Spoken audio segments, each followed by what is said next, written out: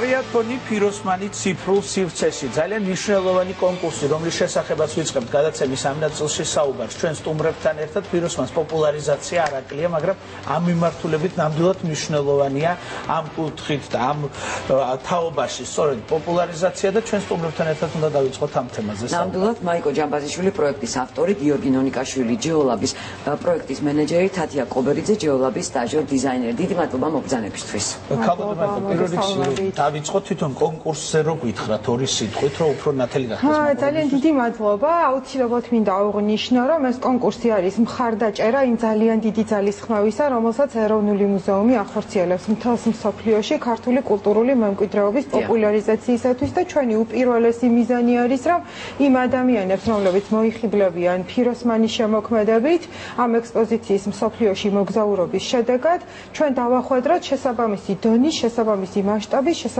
ესთეტიური ღირებულების პროდუქტი როგორც ციფრულ სივრცეში, ასევე რეალურად სხვადასხვა პროექტების სახით. ანუ ფეხდაფეხ მიუყვებით ჩვენ ტექნოლოგიებს, ხო? დიახ, ანუ ტექნოლოგიების ჩართვა და ამეთანხმებით უკვე დღეს ძალიან მნიშვნელოვანია კულტურული მემკვიდრეობის პოპულარიზაციისათვის და ჩვენ გადავწყვიტეთ, რომ სტუდენტების რესურსი გამოვიყენოთ იმისთვის, ყველაზე დიდი ძალის, ესე ვთქვათ, სტუდენტების სახით, გამოვიყენოთ იმისთვის, რომ ციფრული პროდუქტები შეიქმნას ფიროსმანის პოპულარიზაციისათვის ციფრულ სივრცეში.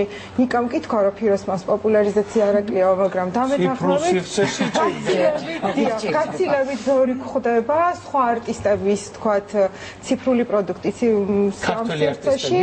არ არა, უცხოელებს გულისხმობ და ფიროსმანი გაცილებით უფრო მასშტაბურად გვინდა რომ იყოს წარმოდგენილი. ძალიან კარგი, მე გიორგის მინდა ვკითხო ჯეოლოგს ამ შემთხვევაში რა ესაქმება, სწორედ ამ კონკურსთან მიმართებაში, იმიტომ რომ ორი სხვადასხვა უცხება ახლა ერთად აპირებთ რომ დააკეთოთ. ჯეოლოგს ისე საქმეა, რომ დააკავშიროს ამ შემთხვევაში დააკავშირა თათია და ფიროსმანი ერთმანეთთან ასე თქვა და ჯეოლოგი ხერს უწყობს ამ ტექნოლოგიების განვითარებას თუნდაც ეს სფეროში რაც თქვა ერთ შეხედვით მუზეუმი ასოცირდება რაღაც წარსულთან და ამ დროს მუზეუმი მოდის იდეით ჯეოლოგთან რომ აი რაღაც მომავლისთვის გავაკეთოთ რაღაც და ამ შემთხვევაში ყველანაირი დახმარება გაუწია. სხვათა ყველაზე მეტი მნახველი თანამედროვე ხელოვნების მუზეუმებს ხავს ხოლმე ევროპაში, ბრიტანეთის მუზეუმში ყველგან და ამიტომ ძალიან მნიშვნელოვანია ეს კუთხე. დავეწიოთ ამ ხრიაც. დავეწევით კიდევაც და თათია ამ შემთხვევაში თქვენ სტაჟიორი ბრძანდებით, თუმცა ნამუშევარი რომელმაც გააოცა უკვე ის ვინც ნახა. რა იყო თქვენთვის თავარი შთაგონების წყარო, როდესაც ქმნიდით თქვენს ნამუშევარს? დიახ, მინდა და ისეთ ნამუშევრები შემექმნა, სადაც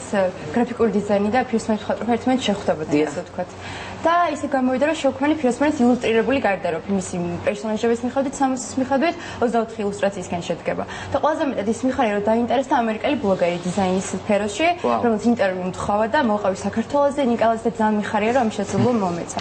ზოგადად ვთქვი, რომ ახალგაზრდები ძალიან ჩართულები უნდა ვიყოთ კულტურული მემკვიდრეობის პოპულარიზაციის პროცესში და მიხარია, რომ ძალიან დიდი პროცესის პატარა ნაწილია. დიდი მადლობა, თუმცა შესაძლებელია თქვენსნაირი ახლა ტელევიზორთან იждდეს სტუდენტები, ბავშვები, ვისაც კონკურსი აქვს როლის მიღების მონაწილეობა. როგორ უნდა მოხდეს დაკავშირება თქვენთან რამოდენობით?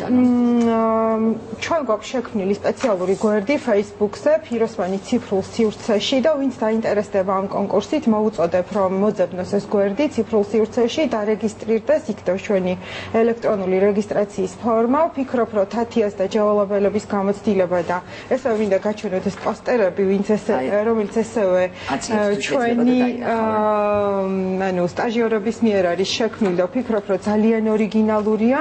ესეც ის შემთხვევაა, როდესაც თანამედროვე ტექნოლოგიები და ფიროსმანის შემოქმედება ერთმანეთს შეხვდა და აი მათი გამოცდილება უკვე ამ ხრივ გვაფიქრებინებს, რომ მართლა ძალიან მნიშვნელოვან ნამუშევრებს უნდა ველოდოთ კონკურსის შედეგად და იმედი გვაქვს, რომ კიდევ მოგვეცემა საშუალება თქვენთან და სხვა მედია საშუალებებში მივიდეთ და გაჩვენოთ უკვე რა შეიქმნა ამ კონკურსის ფარგლებში. დიდი მადლობა მოგზანებისთვის ჩვენ თქვენს Facebook გვერდს აუცილებლად დავდებთ და კიდევ ერთხელ ჩვენი Facebook-ის საშუალებით ჩავატყობინებთ მაყურებელს. დიდი მადლობა.